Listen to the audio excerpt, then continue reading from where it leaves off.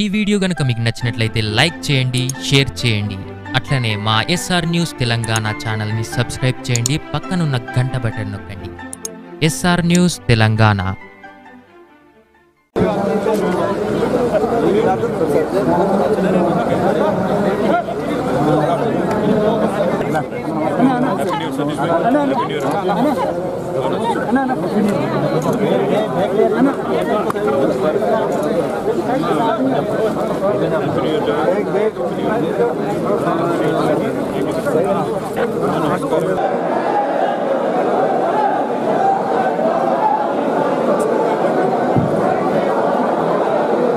Mustabad TRS party అధ్యక్షుడు బాలయ్య గారి నుంచి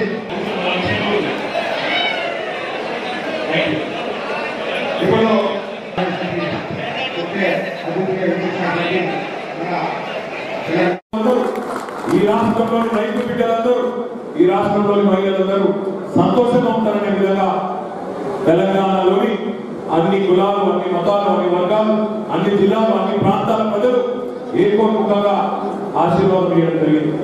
కానీ ఒక శాసనసభ ఎన్నికలతోనే మనం పని అయిపోలేదు.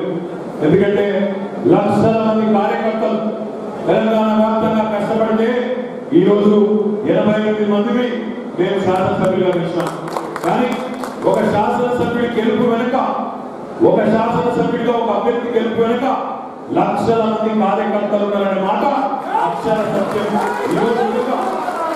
రాష్ట్ర వ్యాప్తంగా ఇంతటి అఖండ విజయం లభించింది అంటే ఆ గెలుపు ఖచ్చితంగా టిఆర్ఎస్ కార్యకర్తలకి అంకితమనే మాటను నేను నిజంగా కూడా ఒక అద్భుతమైన దృశ్యాన్ని ఆవిష్కరించిన ఘనత తెలంగాణ ప్రజలకి తగ్గింది. చాలా మంది చాలా మాటలు మాట్లాడినారు. ముందస్తు ఎన్నికలకు పోయిన ఎన్టీ రామారావు గారు ముందస్తు ఎన్నికలకు పోయిన అటల్ బిహారీ వాజ్పేయి గారు ముందస్తు ఎన్నికలకు పోయిన స్వర్గీయ ఇందిరాగాంధీ గారు ముందస్తు ఎన్నికలకు పోయిన చంద్రబాబు నాయుడు గారు. ఏ ఒక్కరు కూడా చరిత్రలో గెలిచిన పరిస్థితి లేదు. అందరూ కూడా ఓడిపోయినారు. ఆనాడు చాలా మంది మాట్లాడారు. మరి మీరు కూడా ముందస్తు పోయినారు. అడ్డపడతారు మొత్తం దేశంలోని రాజకీయ వ్యవస్థలో ఉండే ముఖ్యమైన పెద్దలందరూ మనకు వ్యతిరేకంగా ఒకటైనారు రాహుల్ గాంధీ చంద్రబాబు నాయుడు ఇద్దరు కలిసి కాలికి బలమ కట్టుకొని మొత్తం తెలంగాణలో హైదరాబాద్లో ఎక్కడ సభ పెట్టగలిగితే అక్కడ పెట్టి దుష్ప్రచారం చేసే ప్రయత్నం చేసినారు. ఆఖరికి ఆరోగ్యం బాగా లేకపోతే శ్రీమతి సోనియా గాంధీ గారు రెండేళ్ళకి ఇంట్లోకి కూడా బయటకు వస్తలేదు ఆ పెద్ద మనిషిని కూడా గుర్తుకొచ్చి ఆమె కూడా తీసుకొచ్చి మన ఖిలాఫ్ ప్రచారం చేయించే ప్రయత్నం చేసినారు.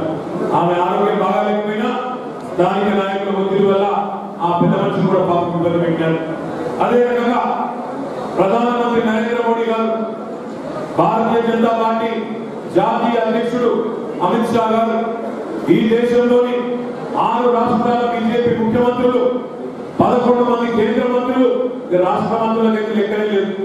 వందల మంది వచ్చినారు. పక్క రాష్ట్రం నుండి ఎమ్మెల్యేలు ఎమ్మెల్సీలు ఎంపీలు ఒకరు ఇద్దరు కాదు. వందల సంఖ్యలో వాళ్ళందరూ వచ్చి మోహించిన పరిస్థితి. వాళ్ళందరూ గుంపులు గుంపులుగా దేశవ్యాప్తంగా ఇక్కడికి వస్తే మన నాయకుడు ఒక్కడే ఒకే ఒక్కడు కేసీఆర్ గారు మాత్రమే తెలంగాణ వ్యాప్తంగా బ్రహ్మాండంగా తిరిగి లక్షలాది మంది టీఆర్ఎస్ కార్యకర్తలు ఉన్నారనే ధైర్యంతో మనం చేసిన సంక్షేమ అభివృద్ధి కార్యక్రమాలే మనకు విజయాన్ని సాధించి పెడతాయనే విశ్వాసంతో ప్రజల మీద భారం వేసి ప్రజలనే తీర్చుకోమని చెప్పి మనం ప్రజల మీద భరోసా వేసి ప్రజల మీద భరోసాతోనే ఎన్నికలు పోయినాం. మన విశ్వాసం మమ్ము కాలేదు రెండు